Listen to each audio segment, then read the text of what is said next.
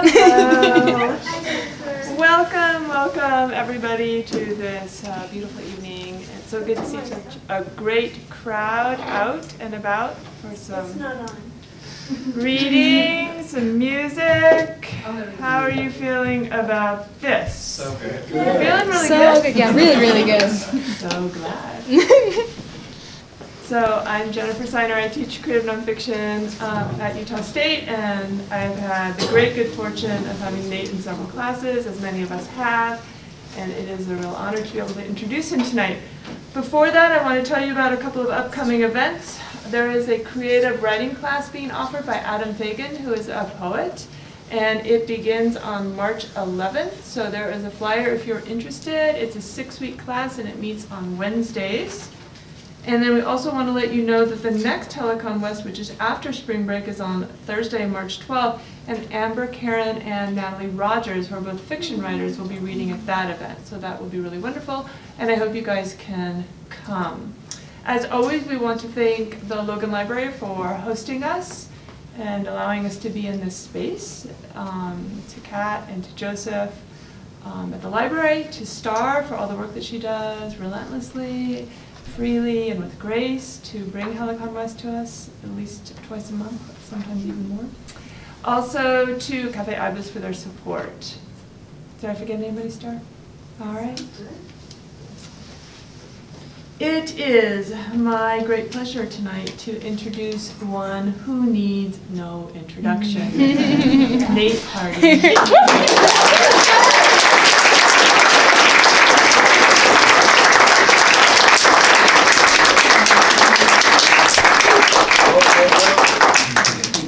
it! Oscar. That's Oscar. good things, good things. All the time. So, a musician with three rap albums, one of which is uh, soon to be released. A writer who has published in. Hollow, Mangrove Journal, and Cathexis. And a community organizer who organizes people not around political action, but around art. Mm-hmm. Nate has been. Nate has been a vibrant part of the Logan community as well as a lodestar within the English department for the past, and I'm saying five, but Nate, you can correct me. Is it five years? That's what I thought, five years. I know Nate best as a writer, and I can say I know him best as a writer because he is a witness to the world, a witness who never looks away. Whether writing poetry or prose, Nate lays down lines that cast no shadow, give neither reader or writer a place to hide. They are raw words, honest words, and they are shot through by a beauty bright fierceness. Are you listening? Nate asks in his song, Broken Boy. This is me learning to be free. Are you listening? He asks us time and again. Because when we truly attend, when we invite our entire selves into our own lives, then, he writes, and only then, we will forget how to look and remember how to see. Mm-hmm. It is with a full heart mm-hmm. that I introduce Nate to all of you tonight. Mm-hmm.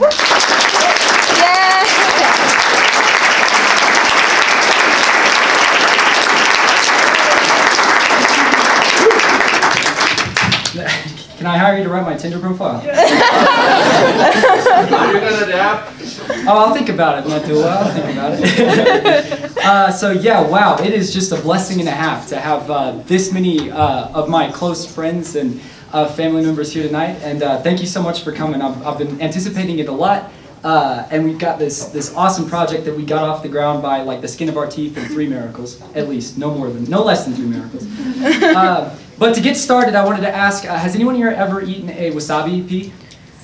Yeah? Okay, cool. So, um, uh, Smith's a couple years ago added wasabi peas to their bulk section, and I totally, I went berserk. I many. Uh, but uh, the thing about a wasabi pea is you can't uh, eat it and be focused on anything else because it's a, it's a painful food. Um, and so uh, uh, this is this is a poem called Wasabi Pea, and it's subtitled Satori. And a Satori is a sudden, abrupt enlightenment. Um, so, such is the experience of eating one of them, and I, I hope mm. such is the experience of this poem. Light, shh. Mm. Like pop, like bop to bat bat, little ball of big band jazz, bold, green and gold, rolled in Dijon and olive oil, fire powder and arrowroot flour. Don't spit it, the split minute, death clapped, breath snatched. It's the bite that bites back. Oh snap! hey mommy, wasabi mommy, mad horseradish from Japan, furnace face dragon snack, lungs flapping in the aftermath. Inverse, whoo, why, why, why, why, why, why, why? No time, never, never mind. Tongue licked by the sulfur whip, brimstone breath. Can't not give a shit, can't give it back. Right now is where it's at. Yeah!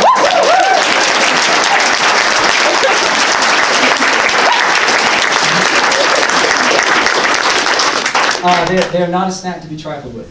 Uh, so, uh, yeah, so I've been running slam uh, slam events for five years now, and uh, I would prefer it if you guys made noise when you liked the noises that I make.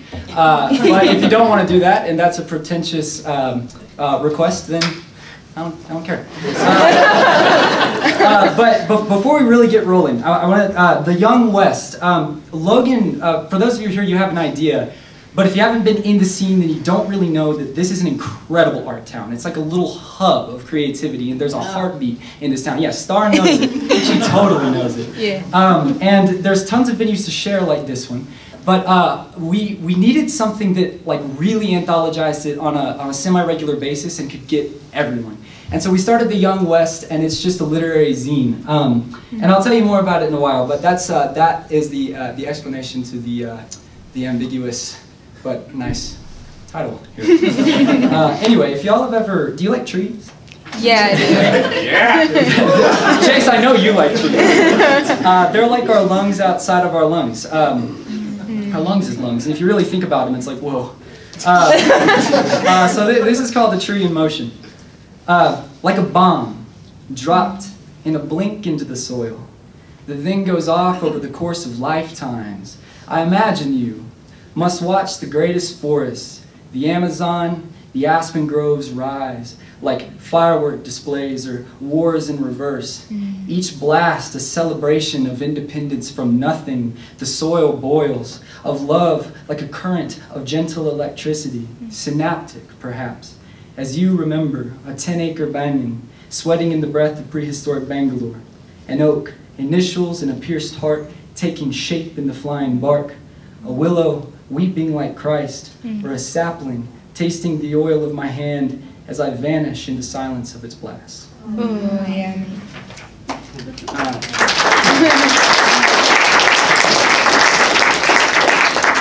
uh, yeah, I listened to this guy named Sadhguru on YouTube, and uh, and he he was a uh, in an American literature class, and um, when the teacher started talking about uh, Robert Frost, they said uh, "Into the woods, lovely, dark and deep," and he said, "Hold up, shut up." I'm not listening to any man who calls uh, the wilderness wood. Uh, this next one's called The Persistence of Memory, an ode to driving through Idaho. And if you've ever dri- driven through Idaho, you know it's awful. So, so uh, yeah, push it, poet. uh, uh, so anything you can do to pass the time is, is worth it. And so uh, this is a poem. Um, and The Persistence of Memory is, of course, the Salvador Dali. It's the piece with the melting clocks.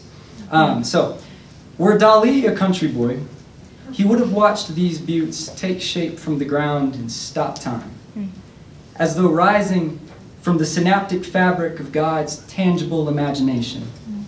As to us, it seemed that the ground moved through time as water moves through space. The highway, a memory we had yet to have. Ooh, yeah. Um, and will you go to the sponsors page real quick? So, um, the uh, Logan is just a freaking gold mine of work to be, you know, presented, uh, and it's a gold mine of people who give a shit about it. Uh, but as with any artistic endeavor, uh, it is impossible to find funding. Uh, not impossible; it's just tough. And so uh, the issue with, with getting this guy off, the ground was was uh, finding funding. And so I had to go around and get told no uh, by I don't know how many businesses until we finally got the support of Transcend Yoga, Cafe Ibis, and then um, Rex, Ryan, and Karen with Golden Copper. And I wanted to say something about uh, these guys real quick. Uh, they have got three going on. How many books? 37. Oh. well, so a lifetime endeavor ahead of them. But uh, my buddy Jack Byland and I have helped them edit these three books, and uh, you guys can buy them. Just talk to them. They're golden copper. And uh, Rex did one of the sweetest things. He came up to me and handed me a hundred dollar bill and said, "Take your magazine off." You know. Um, so just they're they're. Yeah, thanks.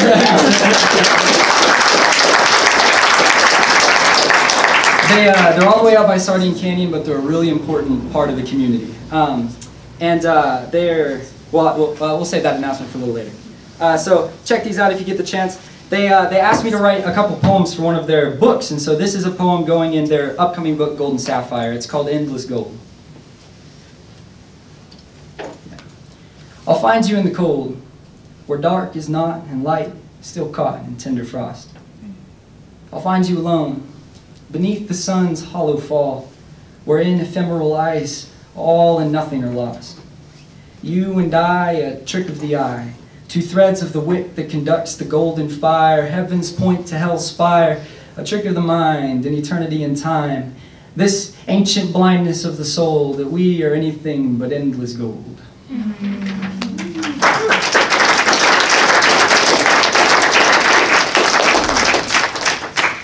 Oh, and if you see these pages, uh, so uh, Ann Schill, will you just raise your hand? Yeah. and stand up? And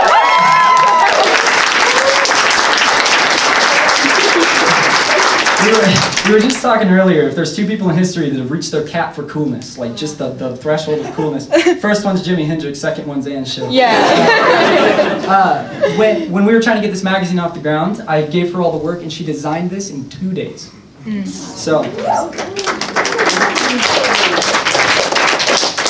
Let's see. Uh, so I'm, get, I'm going to get in trouble for this next one, but I hope that's okay. Uh, way back. I mean, way, way, way, way, way, way back. So far, it's forward. In fact, so far forward, it's back. Before the beginning of beginningless time, after the end of endless time, in a land written in paradoxes, there sat around a bonfire the gods of the present day. Hmm. There was Christ and a few of his disciples, and it was a bring your own alcohol sort of thing. So Jesus brought an IV, and Judas brought IPA. The Buddha and a couple of holy bodhisattvas were there, and they'd forgotten lawn chairs, so they just sat cross legged and thought about how much it sucked. how empty it all felt, but how deeply worth it. A couple cats from the Hindu pantheon, namely Vishnu, who is feeling happy but looking blue. really, that's the cheapest line of this whole thing. Uh, Krishna playing on a flute and Ganesh who brought the peace pipe in the Hindu Kush. I correct myself, that's the cheapest line. Uh, and started talking about how all things are just the, the same, just wearing different bodies.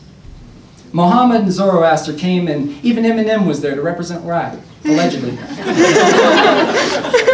They decided against inviting the Flying Spaghetti Monster because he was a condescending prick, and L. Ron Hubbard was an entrepreneurial dick, and Kanye only talked about himself.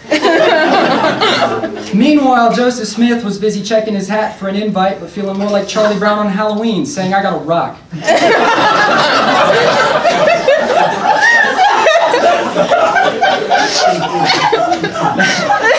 now, you were raised Mormon if you got that. Uh, but the capital T truth is, the capital T truth is, we were all there, y'all. Then our host, the Almighty, the Alpha and Omega, and everything in between, the nameless, the form that is emptiness, emptiness that is formed, the right now, who had been quiet, stood forth and said, Y'all want to hear a wild story? And at that precise moment, a log snapped in the fire with a big bang and sent a mighty swath of sparks into the primordial sky that twisted into his voice and became the cosmos. And this, right here, right now, this is the part of the poem where I stopped talking and started listening to the wildest story anyone ever told.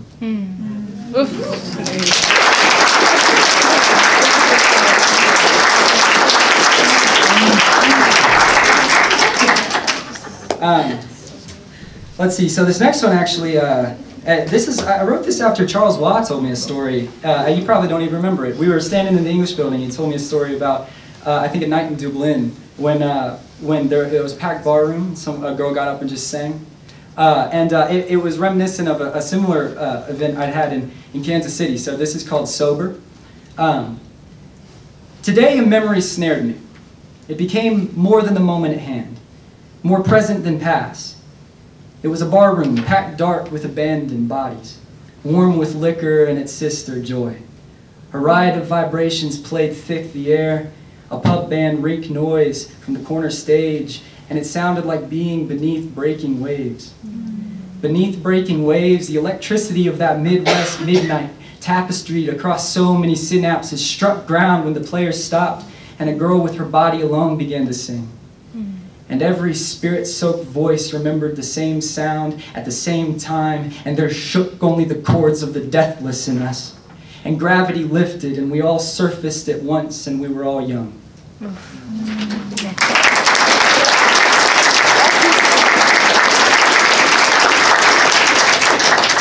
Um, so this next one, uh, I, I, grew up playing the banjo, and if you ask half of the people, uh, they would say banjo sucks. Anyway, it's called Blue. No, I'm kidding. Uh, uh, I love the banjo. Mitch and I were just talking about the banjo earlier. In fact, the lowest point to Mitch's day was not being able to play the banjo before he came here, um, which was just the was just sweet as hell. Um, uh, so this is called bluegrass. Um, there's not a lot to do in Kansas, uh, I guess, except banjo and drugs. Uh, bluegrass. Where'd you go, sweet song? You summer thrum that played my boyhood like a banjo string, hot as cicadas rattling in backyard locust trees, mm. shaking the air awake, ancient drone mm. narrate me, a mm. blacktop mirage. Where'd you go, old call, you prairie breath, filling the jug of Midwest midnight hollow, rising on the wind, pulling across a thousand dry acres of sweet corn out of the silence trembling over the west into the front porch where the sea glass wind chimes played back that same homesick song and mama sat still in the old swing listening and thinking about Jesus. I missed you before you left.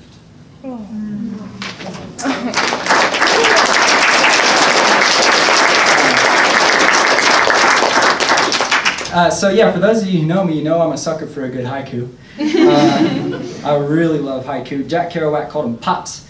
Um, and uh, they're just a really great like sketch, like a non-judgmental sketch of something happening. And uh, these are some transitional haikus because I'm going to start reading some heavier things. Um, so uh, here's to transitional haiku. Uh, on cold wind, the willow breathes away its leaves. Through library windows, snow grows on bare branches, quiet as time. Suicide I killed the man that killed me. To look back, look back, salt runs in Lot's tears. Um, so uh, this next one, can you all uh, cut the, uh, the cameras off for this one? Um, all right, I just have a couple more here. Uh, the next one I want to read just because it's a not an answer, but it's the closest thing to an uh, existential lozenge I've ever found. Um, uh, uh, it's called Love People. A lot of y'all might have heard it before. You can find it uh, if you go to um, at Soul Hardy Music. You can find it on YouTube. So uh, it's called Love People. Mm. I want to love people. and when I say I want to love people, I mean I want to love them like replacing every street lamp with a stained glass bulb just for the hell of it. Because mm. it's beautiful. Like you and like me. I mean, I want to love people like making the nicest girl in the room laugh. Like the voice my grandfather uses to read the gospel like a mirror with an off switch. I want to love people like the person I am just forgot about the person I just want to be and the person I just wanted to be dissolved in the person I am. I want to love people like that. Mm.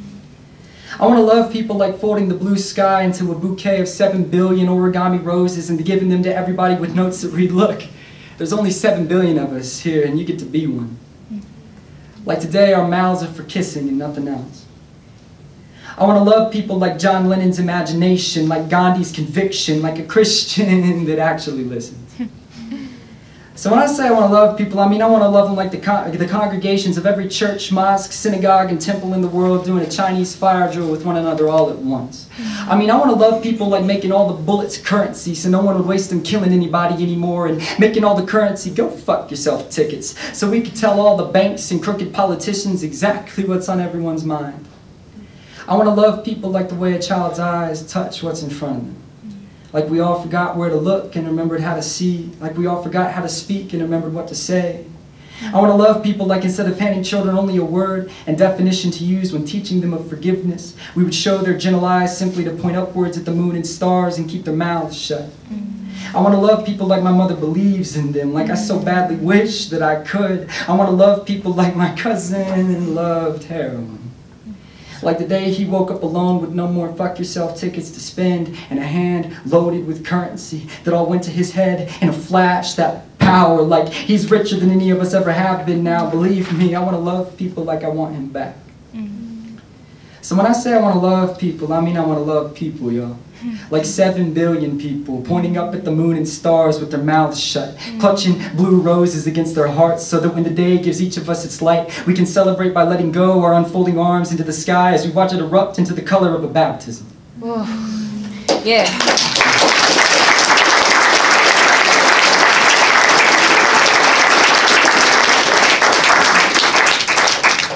How y'all feeling? Are You get that vertigo you get from listening to so many poems? Like, feeling good? There's like a really nice change of pace right now. So, uh, uh, yeah, thanks again so much for coming tonight. It really means a lot. It's, it's exciting for me. So, uh, let's see. This next one's called The 88. Um, and this is about a, a kid whose mom is trying to force him to play the violin, but he just loves the blues too much. so he can't do it. School's out means two things. One, summer's in, two, lessons on the strings. Mom's decree, post-equinox days of terriers, not a Jamrock Stratocaster, more like Stradivarius for Walt to carry past the no-good neighborhood kids like a tombstone or a kit me sign. At least it's not a goddamn clarinet. Am I right? Wrong. The kid draws a bow like fingernails along a chalkboard, bored out his wits. Truth is, he'd rather swallow rosin than practice the violin and watch other kids through his window hold invisible fiddles and play them with their middle fingers for kicks and giggles. Besides, he hates the classics. He likes the blues, the ragtime, the jazzers, the badmen, the out of hell they came cold with hands to translate soul, baked in bold, take the pain and make it gold, stained face soul. Yeah. But yo, your mom wants to raise him proper, so she got him propped up on, on, on Bach, Chopin, and Shostakovich, hoping he'll turn out a young magnum opus. Lil Vivaldi with a bowl cut. Show that Mrs. Smith down the street up. What can her kid do? Kick a goal. What? Where's the class and style? So she hatches a plan to invite him over for dinner and have a recital. Meanwhile, in the basement, Walt's lifting the lid on an upright crate that bears dust on a black and white 88. And legend it belonged to his late great left the fam to chase the fame granddad who could rip a Steinway with vision. Rumor has it he was hired to play at exorcisms. yeah, yeah, he could show the devil up, but mom hates his guts, rolling stones, such and such. So when Walt struck the middle C like a match to kerosene, like a mob to heresy, mom has flashbacks to therapy and declares that he never touched the piano again. Oh, she didn't. She did. She did. She did. She did. She did. Now, summer's in full swing. Dinner scheduled two weeks. Practice schedule at its peak. How many hours a day? Three. Three? To iron out the squeaks and hide the growing irony between son and mom and dearly deceased. But there ain't no shades of gray between them black and white keys. Matter of fact, there ain't no way that fate's turning back on its schemes. So every second mom's out the house, Walt's at the hound's mouth, plunking out the sounds of angels who learn to get down when they hit the ground. Yeah. Knows he shouldn't, but boogie woogie, no good he ever understood. He could put the put up in the pudding so goodly. I mean, looky, looky at what the crooked rookie playing hooky is cooking up. It's madness, beautiful, batshit crazy, bad as bad can bad kids, that is, until he hears the minivan pulling in and has to wrap his hands back around the violin. So his Yeah. mom waltzes in smiling, thinking, my, my, look at my kid. She's dialing the whole neighborhood and telling them to save the dinner date for brats and lemonade and perhaps a little serenade from her little cherub silken strings. Oh, she did it. She did it. She did it. She did it. She did it. She did. So, The covert soul burner stays incognito to avoid a scene akin to Tarantino till the day of the big concertino when he's standing between his mom and a mirror, getting his mop comb to the ears and it hits him like a shot of Everclear. He sucks at violin worse than sorority chicks suck at drinking beer. but, but- before he can warn mom of the impending fire, the first guests are beginning to arrive, and she's whisked to the kitchen to show off her collection of fine china. My, my, his time has come and passed. The die is cast. He might as well write a will to give his Legos to charity and his violin to the trash. or perhaps he spikes the punch with anthrax and leaves the country with snacks in his backpack. Wait, that's whack, no good. Soon the whole house is holding the whole hood. Gulp, could things get any worse? Yes. Uh, Cutie Pigtails from down the street is standing next to the Smith kid in cleats. Somebody called a hearse. Then everybody's gathered in the backyard like a murder of crows, ready to laugh hard, and mom's stoking the flames. When a filament starts glowing like hope in his brain, she says, Wally, grab the violin and tell our guests to get ready for why they came.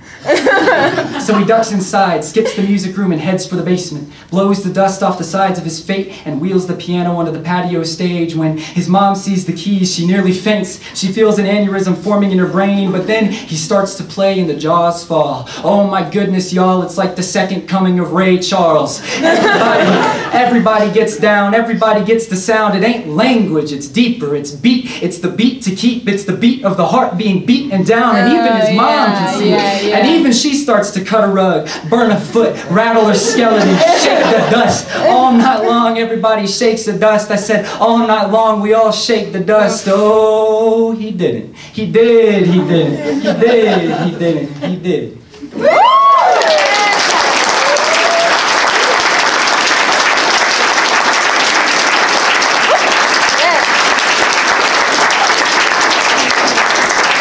Uh, so, thanks again so much for coming, y'all. I've got just two more, uh, and one of them's a rap.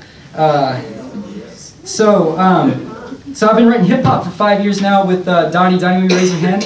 It's going to be our third album. Uh, but, but Donnie, how many albums is that for you, my friend? Uh, 13. Well, 13. Uh, Donnie, Donnie's an incredible musician. He's been arguably one of the best things for my artistic development. Just a great guy. You can find his music uh, at Donovan Colt Music. Uh, that's the Instagram, and then look up what would you look up to find it? Like, uh, it's anywhere. Just Donovan Colt? Donovan Colt Music. Uh, uh, shameless plug. He's incredible, uh, and uh, we're heading down to LA in August to jump around in that city's teeth and uh, just make a living doing that. Uh, so this uh, this next one's called Sympathy for the Reaper, um, and uh, it's a conversation between the angel of death and an old woman who's on her deathbed. The first two verses are the angel of death basically having an existential crisis, which was the most existential thing I could think of. um, and the last verse is, is the woman's response. But at the time I was writing the song, the poet Mary Oliver died, and uh, she's been a longtime favorite of mine. And so inadvertently, the woman in the in the rap uh, in my mind is is Mary Oliver. So I wanted to lead into the poem with the uh, into the rap with the poem Wild Geese. Oh, so yeah. This is one of my favorite poems, and if you haven't heard it, I'm just gonna go ahead and say you're welcome. Uh, it's incredible. So, uh, Wild Geese. You do not have to be good. You do not have to walk on your knees for a hundred miles through the desert repenting. You only have to let the soft animal of your body love what it loves. Tell me about despair, yours, and I will tell you mine. Meanwhile, the world goes on. Meanwhile, the sun and the clear pebbles of the rain are moving across the landscapes, over the prairies and the deep trees, the mountains and the rivers. Meanwhile, the wild geese, high in the clear blue air, are heading home again. Whoever you are, no matter how lonely, the world offers itself to your imagination, calls to you like the wild geese, harsh and exciting, over and over announcing your place in the family of things. Um,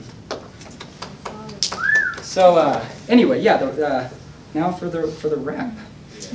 Uh, you guys, you guys feeling good? You're not like Feeling so good. Gravy, baby. yeah. There, there's something about listening to yourself talk for 30 minutes that's uh, flattering and scary. Uh, so let's see. Can y'all hear that well enough? Okay. So we had our friend Ryan do the uh, uh, do the the vocals on it. He's a metal musician, just killer. So uh, there is a point in the chorus where there's a scream. And I do not scream, but Ryan does. So uh, you'll hear that on the speaker. Just to uh, prep you. Also, can we turn the uh, the, the, the cameras off? Uh, I, had a, I had a friend in high school named Nico Papazafaropoulos, and his name is a, a similar mouthful. So uh, yeah, so that's that's on our uh, our upcoming album. It's going to come out in the next couple months. It's going to be called. Um, oh wait, I can't say that yet, can I? So that's that's. can I say that? Sure. Oh yeah, uh, Saturday with a it's SAD. You know, you. Uh, uh, so so be looking for that. Yeah, we've been working hard on that, and uh, and uh, I've got a great uh, story about the Taipan trading outlet if you want to hear it. Uh, but uh, anyway, I'm, I'm going to read my last piece now. Again, thanks so much for coming out, guys. It really means a lot uh, to support the scene and uh, to, to be from this just kind of soil of people. It's, it's really awesome. It's really awesome. Uh, so this is called Stanzas for Logan. Um, and uh, I, one of my favorite writing exercises is to just catch the people uh, that are close to me in these little um, blurbs of gratitude. Uh, and so these are my favorite stanzas, not to be confused with my favorite people, because that would get me in a lot of trouble. So uh, these are just a few of my, my favorite stanzas from that exercise. So it's called uh, Stanzas for Logan, and the last one is for Logan itself. Um, so, uh, Jordan Okada, my first friend in Utah. You can measure Miller High Life in 40 ounce bottles, but you can't measure the real value of a fake ID. or how fast we ran from those red and blue lights. Or cardboard dick silhouettes in the dorm elevators. Or five years of stumbling back to college with that big blue A as our beacon, whether it stands for angels or assholes, I don't know. but I'd be fine with both. Star Cobra. Mm-hmm. I should. That's how you know stars. you say her name and people are like, oh yeah. Uh, Star Cobra. I shouldn't need to say much more than your name. Mm. You're a center of gravity, a source of endless light for this scene. You are warmth that raises forests in the heart. To be in your orbit is to be closer to absolute love and poetry. Mm-hmm, mm-hmm. Justin Smith. you absolute buffoon. you see the world through Rubik's tubes and labradoodles. You can climb, climb rocks like Lady could sing the blues, and your heart shines like those old lanterns with a nice spread. Chase Cannell. Listen here, handsome. This town is and has always been big enough for both our yellow asses. We just keep fighting for our mama, here. I'll see you on the endless flip side of this ridiculous accent. Uh, Jordan Forrest. Girl, the way you think is the way a cello sounds. Endless curve of a question mark. I am not surprised to find that the cello plays closest in register to the human voice, so keep speaking. You are music, you are medicine. Rex and Carey. All right. Y'all caught youth by the tail, told it sit and it sat, spit and it spat out three going on five novels and a Netflix contract. Curiosity is a giant and you are riding its shoulders looking, always looking. And Shill, Yeah. you are a bolt. Mm. And Aurora Borealis meets lightning, meets a quiet cup of coffee on an endless morning. Whenever you speak, it is an improvement on silence. Whatever you see shows the shades of God inside of it. Yeah. Nikhil and Nikhil. you dangy lunges. you can cook the soul and laugh a laugh that gives time a run for its money. You understand the word family like most understand the word oxygen. Oh boy, here we go. Uh, Mehdi Shafiq. doctor, doctor. What trick did the gods play on themselves when they made you? you wild-hearted bastard, you jazz chef, you walking shadow of Rumi and Aldous Huxley. Death will come. Death will come. But right now it runs from you like a rabbit at the crack of a gun, like mm. night runs from dawn. Oscar Cambona, God is good. Oh, Louder, Oscar. Listen, Dr. Paul Crumbley, old beat Buddha of Swenson and Dickinson's Bodhisattva, you can play out a book of poetry like Hendrix could play a guitar. Had youth found you and I side by side, we'd have raised Cain. Let's see. May Swainston, are you here? Oh, oh, oh, oh, so there's May Swenson, and then there's May Swainston. Oh, I should have written one for May Swenson. Actually, no, she's got a.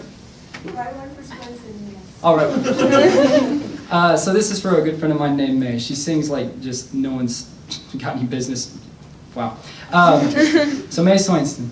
In this slanted shaft of light, we are dust motes drifting out of one wall of shadow and into the next.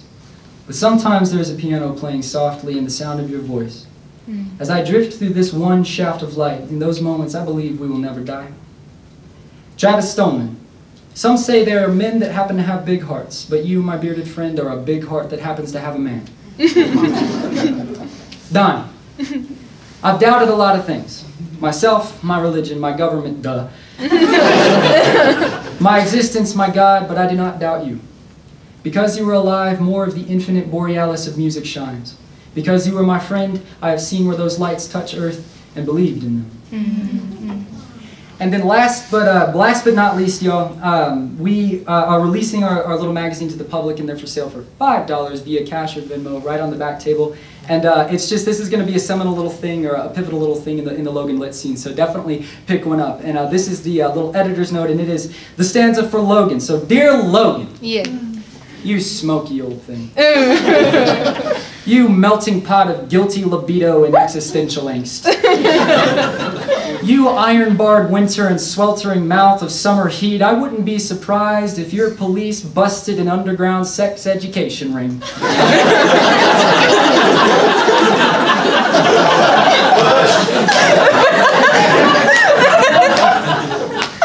In the shadow of the temple or the big A, or in the heartbeat of Y Sound in Ibis, at the not so ironic intersection of Federal and Church Street. Still, you were the fabric of our memory, laid bare before the Wellsvilles to witness them swallow the sun and split the stars open every night. You were the thrum of our traffic and the meditation on our canyon's ancient breath. You were Swenson's womb, an eclectic muse of hipsters and academics, burnouts and blue-collar beauties, urban wild, apple, plum, and pear trees, grapevines swollen to chain-link fences, 100-year-old homes and tender ghosts, little river, rural veins, skyward shattering pines, the smell of willow and poplar and box elder leaves dancing beneath an asphalt mirage or desert rain. You were the timeless midnight light of diners and laundromats, the one with the Buddha sorrow sunflower out back. You were the mahogany drops of buckeyes gazing up from the street. You were the airborne sneakers swinging from electric wire like a compass needle to our beat. Little big city below the crest, little poetry capital of the West. Yeah.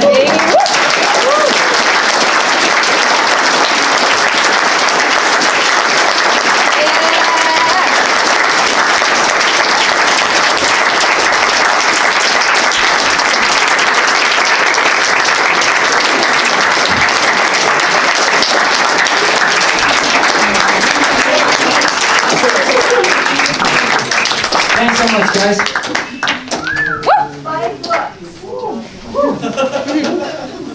So let's give Nate another round of applause.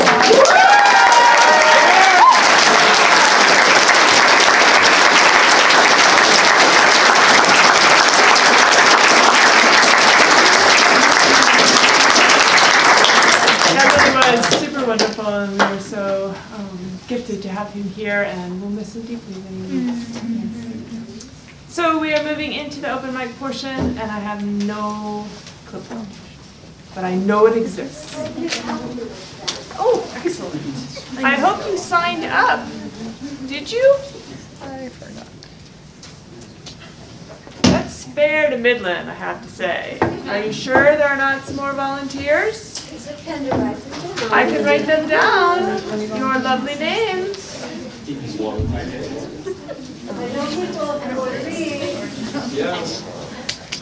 Make sure to buy one of the Young West on your way out. Support all the good people.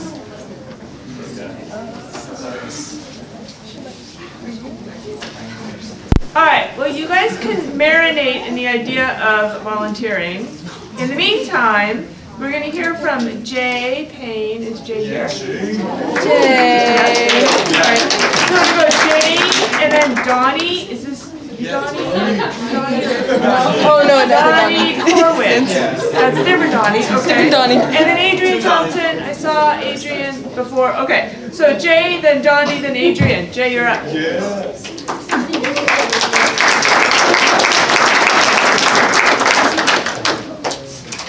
All right, first of all, um, Nate, that was amazing. Yeah, it was. All right, so all I have for tonight is I went to Georgia a little while ago and I got super bored on the airplane. so I figured, why not write some poems? um, so I watched my friend Preston fold paper crane themes for the duration of the flight, and this is the poem that re resulted from that. It's called Airplane Crane. Um, I sit in the terminal, gazing at the rubber-scratched tarmac. Beside me, Preston folds origami cranes with spare notebook paper. We board the plane, and he gently places a crane in the palms of the pilot. His yoke-calloused hands cup the paper bird.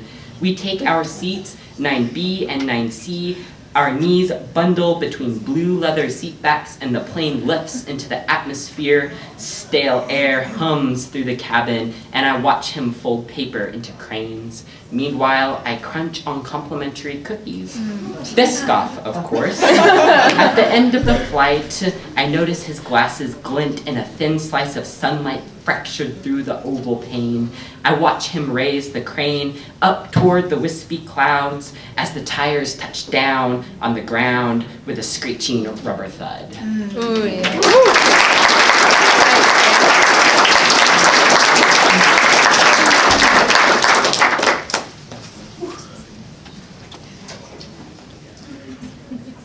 Nate Hardy is the type of guy to write a six second poem and I think about it for the rest of my life. Dude. I, I want to write a collection of poetry and just give it to him just so we can have the honor of being graced with that flow. This dude, my gosh, I just I can't say enough good things about this guy. So happy for him that we all got to hear his great reading. Um, my name's Donnie, not the other Donnie. I'm sure you're awesome. I should have just like left and let you perform. after I signed up. Uh, but this is a poem I wrote and it's called The Dinosaur Book. Growing up, my older sister was mean. No, it's true. She used to steal my G.I. Joes and turn them into Ken dolls. She would stealthily sneak down the hall and confiscate my soldiers of valor while I slept. When I woke, I was willfully ready to send these men into missions meant for the brave and the free, but they were otherwise occupied serving Barbie her tea. When my mother assumed her role as judge and reviewed the case, my sister wouldn't budge from the position that she had apparently tarnished the honor of my Joes out of compassion. Her actions were innocent. I wasn't that ignorant, no, she was the devil. my sister taught me how to read. And believe me, that sounds great, but it's not. See, she would fiendishly plot to assert her dominance, forcing me to start from the very beginning of the dinosaur book every time I made a mistake. Even as I recite this rhyme, I can't remember how many times it took me to correctly say pterodactyl. My sister was danger.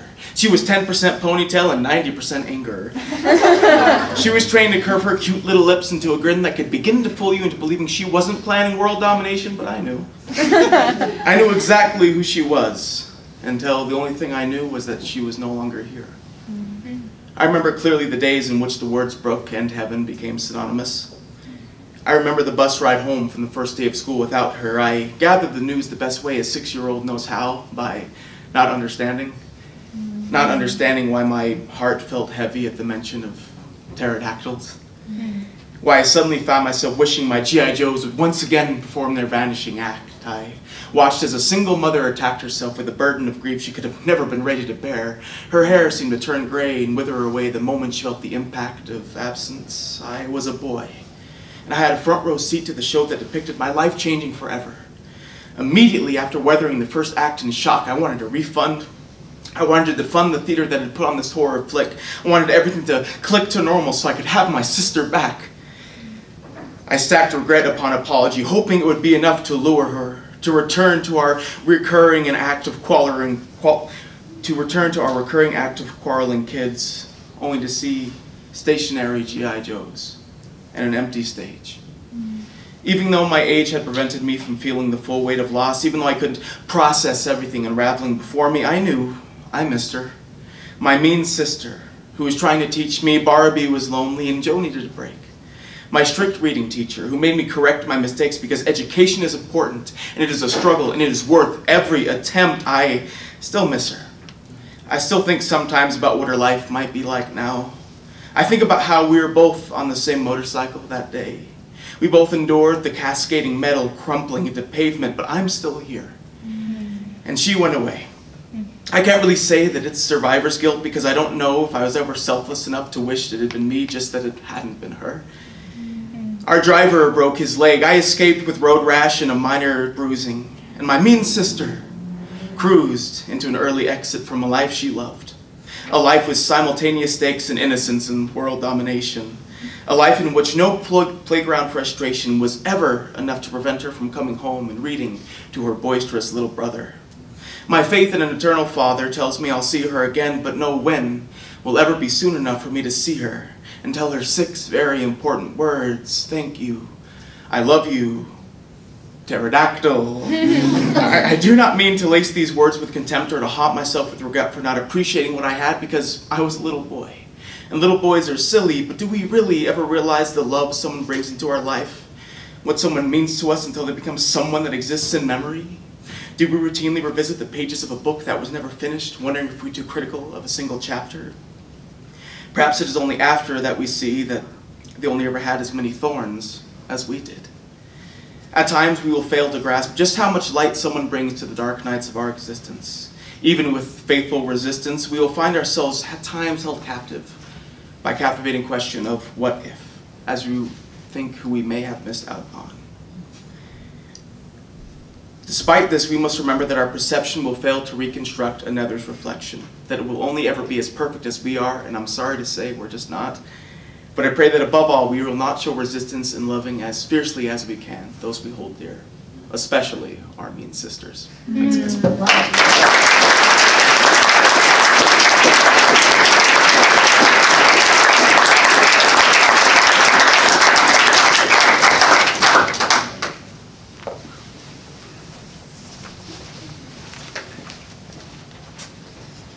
Hello, I'm Adrian. Is awesome.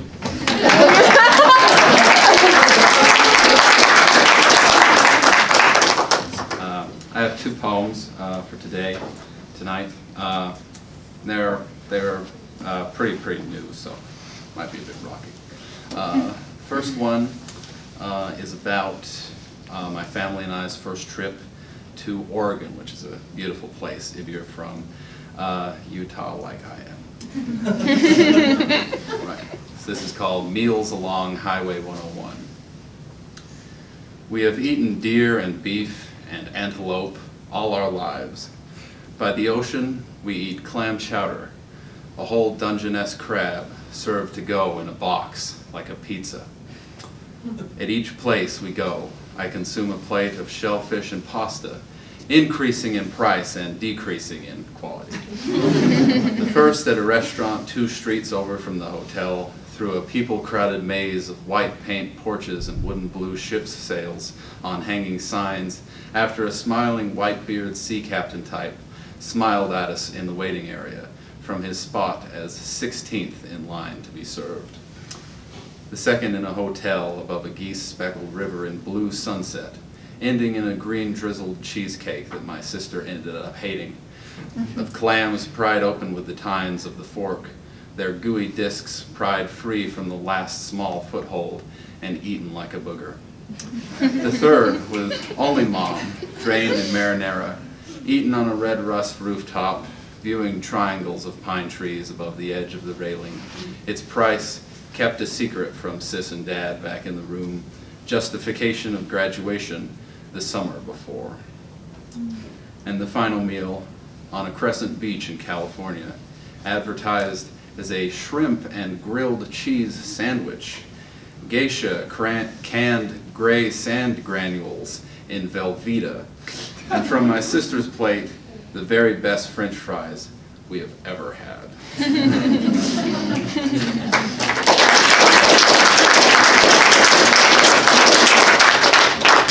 All right. Uh, Also like um, writing poems about my dreams that I have, dream images, because I feel that there's something, you know, truly artistic that also, uh, you know, come uh, from from my experience. I, th- I think both of those are important.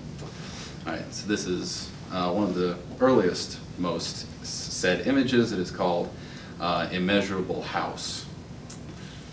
I recall the outside as large, rectangular, blankly ominous, more a hospital or school than a house, I think brought from remembrances of the odd painted perspective of the building for the doctor's office on Courage the Cowardly Dog from an episode I can no longer find. Mm-hmm. In the dream memory it looms large and appears darkened, only sky around, the sides of where it sits on a small incline green hill, stone stairs, and exploding white sunset splaying light from behind, creating an unseeable distance. Wide lines of elongated dark siding running along repeating windows of square orange light. There always stands a crowd of people unseen, but heard and felt behind me as I enter, standing in a gathering beneath that green hill gray twilight, themselves as hazy as the mute horizon, chatting in great disquiet, as if deeply concerned at the prospect of being faceless dream phantoms, no body to speak of, trapped in repeat within liminal space. As their murmuring continues like static, I enter the house. White light, white light splays out. The house sits atop its incline, the faint sound of a choir. Mm.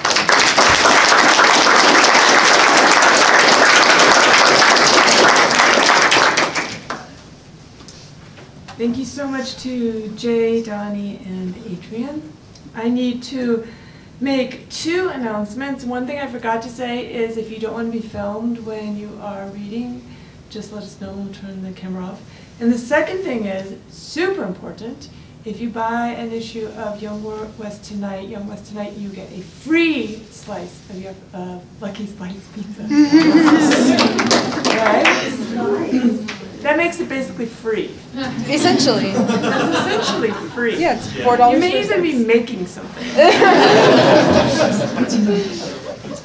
the next three readers are uh, Teresa Dyer, Sean Anderson, and Ashley Thompson. Yeah.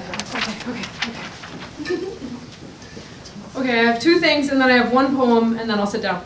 Um, the first thing, Jennifer, I have it on very good authority that Riley Anderton would like to be added to the list. I know this sounds made up, but she said she wanted to be added. yeah, she's real. She's there. I'm out of breath from walking. Um, the second thing is kind of a quick backstory. Uh, over last summer, last summer, Sean Anderson, who's reading next, um, went to Prague and he got to go visit an ossuary, which is uh, a place where they have collected human bones and they're displaying them as art or architecture.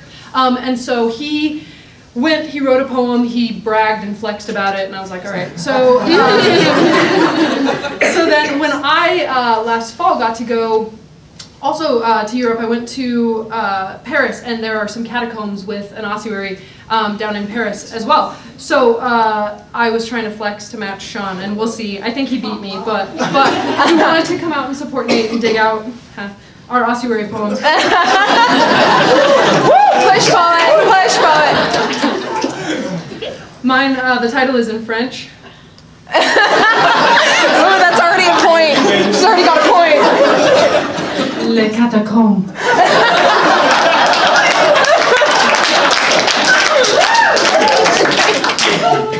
We try to make sense of our world, bury our dead. We try to make sense of death itself, inscribe rules for living. But nothing can make death more or less meaningful than it is. Not the careful categorization, the tests for sex and age, prevalence of disease, nor probable cause of death, not the plaque buildup on incisors, nor arithmetic to track arthritis propensities. Here, beneath the streets and the sewers and the metro and the pipes of Paris, teams of researchers catalog, clean, carefully restack the bones built into their underground home hundreds of years ago. If human society from the medieval nights when these bones were first set to rest through our present turmoil have taught us nothing else, at least we must see our own innocent insignificance everywhere in these dark halls. Still, we must bury the dead, to protect them, to protect ourselves from them. And when, in the face of overcrowded cemeteries and contamination, a call is made to move the dead, we rebury them. We undertake the task because we must make sense of our lives and our deaths. We stack and pattern skulls into heart shapes suspended between countless femurs, arm and shin bones set to fortify walls. Millions, millions of bones support each other, walling each tunnel, aching with the stillness of architecture, reminding us of ourselves at every turn. Fuck if it isn't beautiful.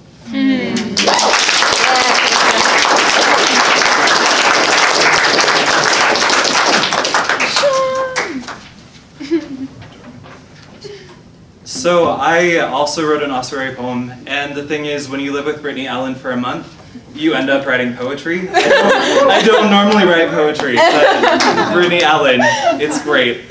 Um, mine does not have a good title, so sorry. I'm just not even. Mine is literally Sedlec Ossuary. That's the title. So hooray! okay, thanks. Um, ooh, and my phone died. Okay. Day before my 27th birthday, we descend into the underground chapel. We, the living, enter, our laughter quelled by the keepers of the bones. We snap photos, staring into blank sockets of skulls. I'll send a photo home, trying to condense the weight of 60,000 bodies, mm. broken down into an image for my husband, mm. still asleep in our bed. A chandelier hangs central in the chapel, before Christ on the cross, built from the chosen dead. Skeletons fragmented, reshaped to provide light. Mm. Every bone utilized, skulls hold candles, the chandelier crowned with the sacrum. I could not name who owned these skulls, could not tell what made them chosen, their bones all they left behind, and their children. Their stories passed on in blue eyes of the living, the amber wavy hair, flat noses, and long fingers. Passed down, passed on, the way humans pass on, make selves immortal. In their too short time, they create life. Woman takes man between her thighs, creates man within her core. What happens when husband takes me between his hips, without space to create? What will either man pass on? Oh. Thank you.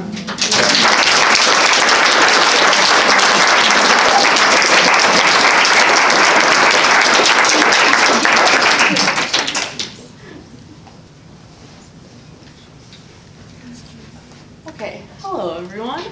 Um, I have two poems for you today because a bunch of my friends told me that I should read. so, I so I pulled up very quickly um, a document on my phone that is called Writing Sample that I used when I was applying for grad schools a couple months ago. So I didn't really know what was on it, if I'm being honest. So here we go. All right, food memory. Coke Zero hits different when drunk from a paper cup. Tastes like Disneyland, like sticky carbonation with no plastic bottle, no tin can, no straw between tongue and ice because this is California in 2019, babe. We're saving the damn planet. Coke Zero on tap tastes like saving the planet, like the way she kisses me under the pop of fireworks. Mm-hmm. I used to be a Pepsi girl, but now Coke Zero tastes like her lips, and I don't think I'll ever go back. Not after the tingle of aspartame in my fingertips, clutching her hand in places where people can see us. No, Coke Zero tastes like her fingertips, which taste like the heat death of the universe, or at least the death of this body. Like when we mm. die, we will be gods watching the world bubble like carbon dioxide. Or mm. maybe in the end, we'll just join the haunted mansion. Happy haunts, the memory of a Coke in hand, an eternal fast pass under the sickly fireworks. Oh yeah, nice.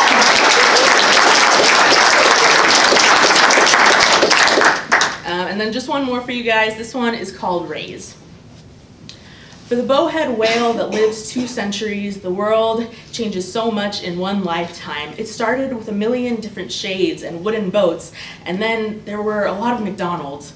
Did you know mantis shrimp can see as many as 16 more colors than humans can? I bet a mantis shrimp cried when the world began, clear as summer, and then humanity sprouted up, a seedling toward the sun, and the grass is still green, the sky is still blue. No matter how small, no matter how messed up everything is, there will always be rays flapping their wings through the water in mm-hmm. aquariums, plastic houses like McDonald's. There will still be someone reaching in to touch their slimy hot dog bodies, and they will still smile through the glass. I'm sorry, I'm sorry, I'm ranting about manta rays again, but listen, the ocean is sunlight traveling one particle at a time through the darkness. How different are they really? Space and the ocean, fluid, endless. I want to know every creature in their depths. I want to keep them as pets. I want to feel always like someone out there knows more than me, knows more than I do. Uh, knows more than I do. My insides move like waves beating up against some shore. I'm not sure of it yet, but I feel that I am becoming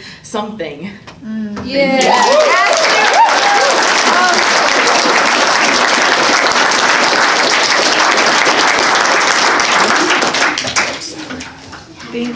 much for, to Teresa, Sean, Teresa, Sean, and Ashley. And now we're on to Shane.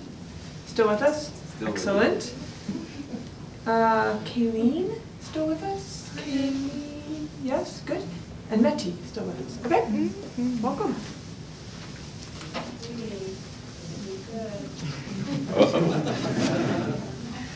Um, hi, uh, I'm Shane. I'm going to read three quick little scribbles, and this is the first one of them. Um, it's called These Days. A laundromat afternoon, and no one is safe from my imaginings. Such fragile things. These sneaking tendrils of need painting strangers with a soft brush, nerves aflame until our time's up. Please pardon, but might we discuss the task of turning me to us in moments past, unmasking trust? I know it's fast, but fear we must amass these passions stacking up, our insides asking to combust, a past that's lacking proper touch, these forms in which our dust is stuck, a loneliness outlined as such, I'm much too much or not enough, the dryer dings, so I stand up hmm. silently and exit. Hmm. Yeah, that's nice. So I came for, I just moved to Logan uh, like two months ago. I came to my first open mic last month. It was amazing. There are a lot of great people here. The energy is amazing. Um, and I read a piece uh, last month. This one is kind of a companion piece uh, written for that. It's called Interwoven. I have no luck with readjusting cells. My hands still take to flight unattended, still race to let slip every casual adoration, every thousand word portrait of my pulse. I cannot unlearn a love of sunset or make one less wish for mountains, cannot pretend my blood does not hum in song to body, chanting rapid oscillation. Sometimes these strange seeds take root and bloom in the dark, grow green through every part of you. How then to stop the tongue from talking, from tasting of petals? Maybe chance is only magic forgotten. Perhaps I'll always supplicate to beautiful coincidence. Hmm. And the last one, um, a lot of these are written with a similar muse. Um, I, this is for my best friend. Um, it's called Optimism Bottle. I want to write you something new, diaphanous and alluring, uniquely cerulean, to part my jaws and announce novel expression of synapses flickering and fired. But we both know how I'm wired. How damned has been my best luck. How these months have found me starstruck. A constant cartographer punch drunk on your heady sharing. So this is me again, simply and solemnly swearing. Shelter and sunlight, seeing and hearing. Yours sincerely, a former amateur magician with no tricks, nor plans for disappearing. Mm, that's nice.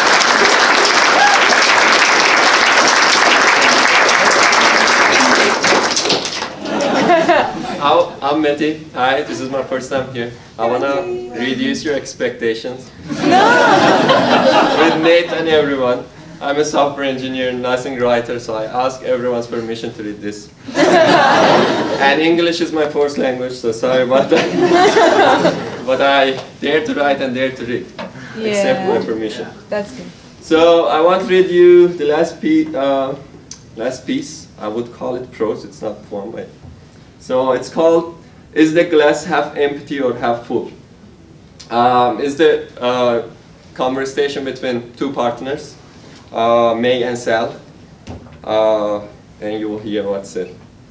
One should see the half full of the glass, May said. Although its mission was to shatter the invisible glass of silence between May and Sal, the statement thickened the air more dense than even Sal. Uh, even if Sal would have responded, his voice would have reached May's ear after a couple of hours. Rays of light connecting Sal's eyes to the glass were so heavy, as if they were solid steel cords. Undoable it seemed, but Sal raised his gaze to May's face level after a duration that was hard for both of them to tell how long. Sal injected the air with a dose of reality by opening his mouth and responding calmly, yes, one should see the half full. But do you know what is in the glass? Mehu would not expect it to focus uh, would, uh, Mayhew would not expected the focus of conversation to drone by falling into the glass, answered in surprise, water I guess? Sal, while lowering his gaze back to the glass, chuckled and said, it is water with, uh, it is water mixed with tears of my death angel. But do you know where the other half is? Sal even didn't let May process the heavy storm of the shock and leaving the reality of conversation to his catatonic gaze, answered question briefly by saying, my belly.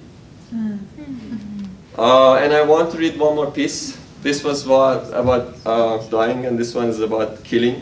don't, don't get scared. it's called Bullet, or I would say customized bullet.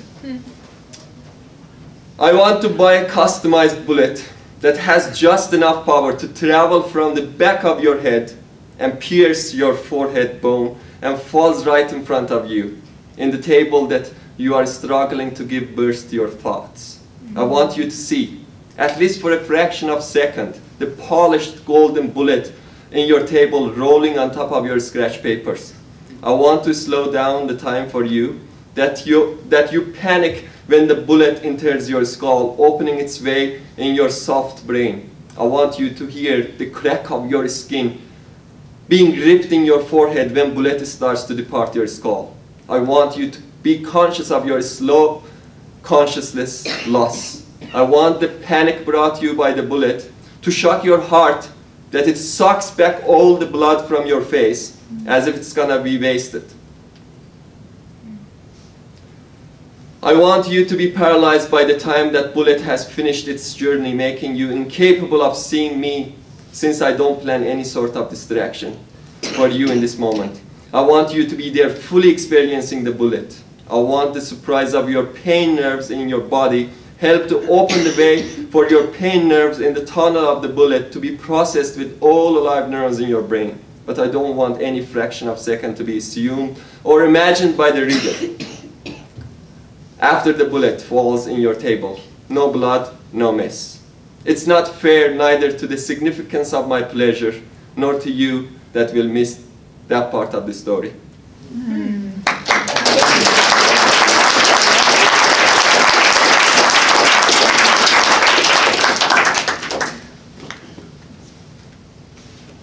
you to Shane, Colleen, and Meti. And we are last going to hear from Ronald Jensen and Riley Anderton, who was, that's good? All right. Volunteers, being a keeper about it. So, Ronald?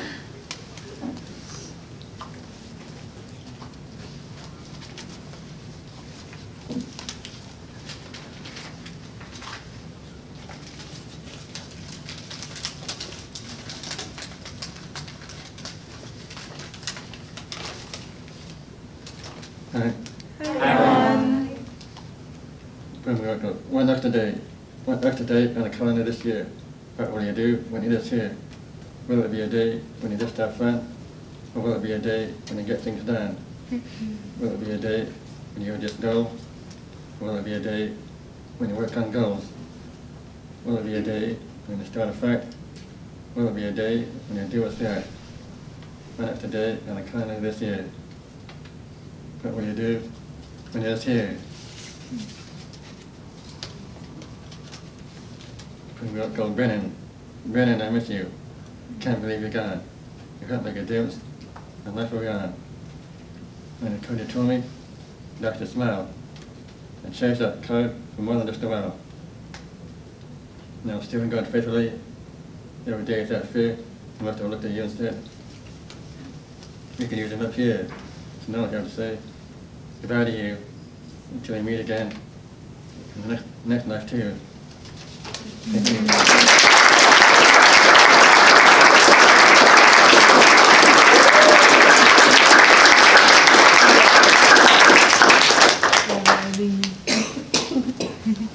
So Teresa, who volunteered me, left. So she had enough faith to volunteer me, but not enough faith to hear me read. So um, the poem I'm going to read tonight is kind of a silly poem, and I think that's okay. Um, sometimes I have a hard time falling asleep at night, and so I'll take online personality quizzes, um, like BuzzFeed online personality quizzes, and they're really ridiculous if you've never taken them. It's like, tell me your favorite color, and I'll tell you the day you'll die. So they're really just kind of like absurd, and so I wrote a poem about it. Um, so it's titled BuzzFeed Knows Me Better Than I Know Myself. um, I doubt my life would be complete if I never discovered what flavor of Pop Tart I am. Everything about me screams confetti cupcake. I'm certain I should be a teacher or a doctor, but BuzzFeed knew in reality I was made for astronaut training. One quiz promised my Taco Bell order would reveal the first time I smoked weed. The result? Not that far off.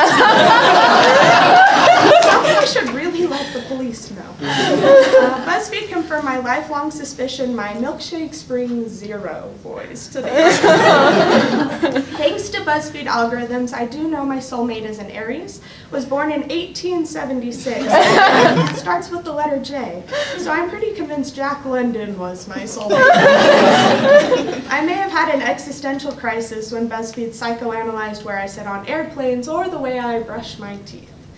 I've had at least a dozen celebrity lovers, lived 87 past lives, and know every flavor of gum I should chew according to my zodiac sign.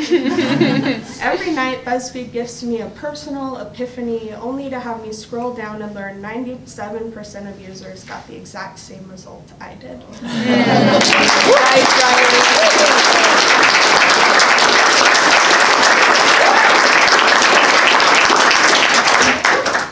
you to Ron and to Riley for bringing this evening to a close. A huge thank you to Nate. Mm. Woo! And thank you to all of you for coming out. Please support Young West. Get some free pizza. It's all good. Mm. Thank you. Mm.